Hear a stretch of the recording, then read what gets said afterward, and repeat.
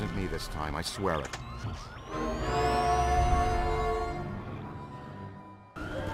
Times Square, post-urban renewal. All shiny and clean.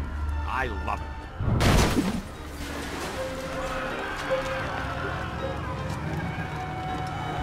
Say, is that him? It's hard to miss. Egon, how close do we have to get the big trap to reel him in? A lot closer than this. What's he up to now? He's looking for something. Is he looking for something or someone?